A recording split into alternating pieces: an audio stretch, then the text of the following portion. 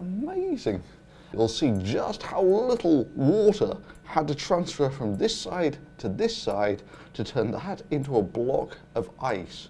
Water evaporates into a vacuum to give something called a vapor pressure. If the water is then condensed, water travels from point A to point B at almost the speed of sound. A point that can be vividly demonstrated by actually making one of these devices and cooling one of the bulbs down to about minus 50 Celsius. However, once you immerse this flask at minus 40, the water will instantly freeze on here and the vapor pressure on this one will go to zero, which means the, the gas will absolutely scream across. There we go, tap is fully open. Let's see what this does for us. Boom, look at that. Goes absolutely ballistic almost instantly. Okay, so what we've got here is now it's a much bigger tube going from one side to the other. So previously there was actually a constriction in the tube which slowed down the rate that water could go from one to the other. Here it's, it's not restricted like that. So now when I put the cold bath on this side, there'll be a huge transfer of water from this side to this side. If what I'm telling you is correct, that'll mean this gets really cold really quickly um, from the evaporative cooling. Some ballpark numbers. If I want to turn water from liquid into gas, it takes about 2 million joules per kilogram. And that energy in this case is supplied by the water. Cool, so if I can force my water to evaporate, how much water do I have to evaporate before the rest will freeze? Well, it turns out that to freeze water, you've got to suck out about a third of a million joules per kilogram. So if I evaporate about one tenth of my water, then the rest should freeze. So how am I going to force the water to evaporate? Well, on the other side of this vacuum chamber here, I'm going to put it in a cold bath at about minus 50 Celsius, and that's going to condense all the water that hits there. And this process is going to happen super fast because there's a vacuum in this tube, so there's nothing to obstruct the water molecules from going from one side to the other to the point where you only need, if I'm right, to evaporate about 10% of this water before the rest of it turns into a block of ice.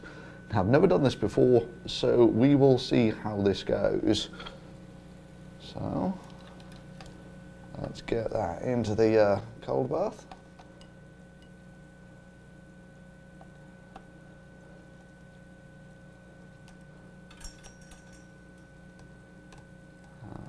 Okay.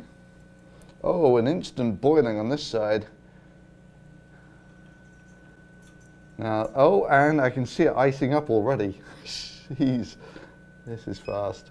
Yeah, okay, that's the...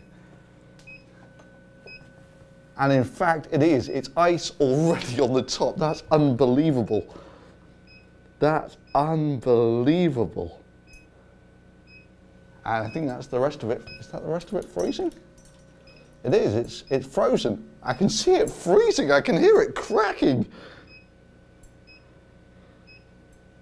That's unbelievable.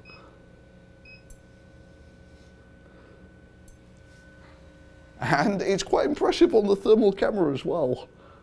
Get that into the uh, cold bath.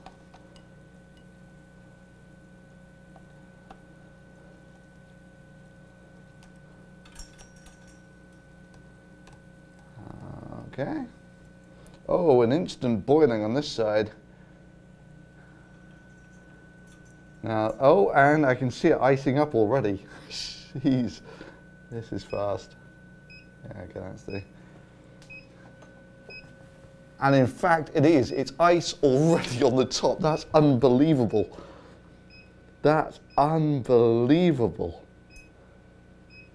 And I think that's the rest of it. Is that the rest of it freezing? It is, it's, it's frozen. I can see it freezing, I can hear it cracking.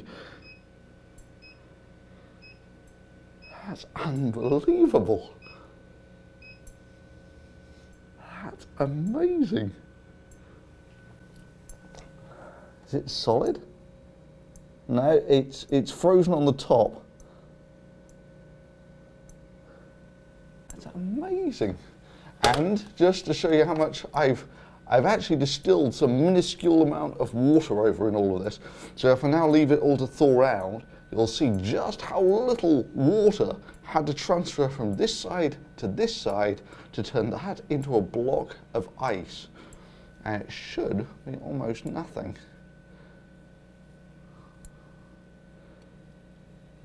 Okay. That's uh, amazing.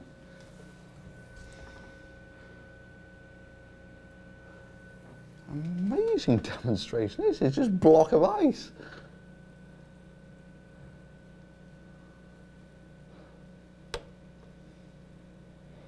Okay, and we're now melting on this side and there is, there's about a drop of water in there on that side.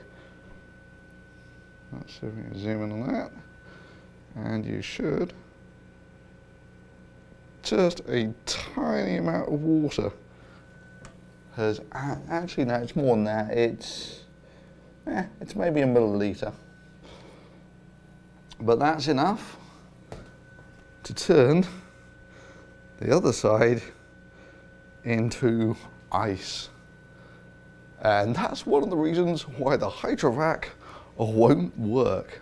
So that is probably one of the closest demonstrations you're going to get of just how quickly water will freeze in space, short of the uh, slightly more expensive experiment of actually going into space and throwing a glass of water out of the window. Why is that?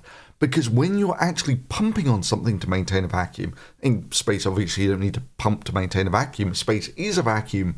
You see, if I were reliant on a mechanical pump, I can only take a small volume out of the kit for every revolution of the pump. And seeing as the gas is going to be travelling from one end of the kit to the other at about the speed of sound, that's going to be wholly inadequate for maintaining the maximum evaporation rate. However, what's going on here is I've made one side of the kit really cold, so as soon as the water molecules hit the cold side of the vessel, they instantly freeze on it. Meaning that the pumping rate here is basically as fast as the molecules are hitting that and condensing on it, which is pretty much the speed of sound. A cute variant of pumping called cryopumping.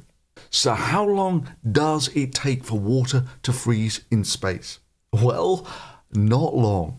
So, would you freeze really quickly in space? Well, turns out not so much because your skin really isn't that permeable. Water doesn't come out of your skin that easily. Nor will your blood boil in any real sense, and you certainly won't explode. Why? Well, that's a story for another day. And if you like that cute little demo, give this video a thumbs up and remember to subscribe and hit the notification bell. And if you really like this channel, you can support it directly through Patreon, and I'll leave the links below.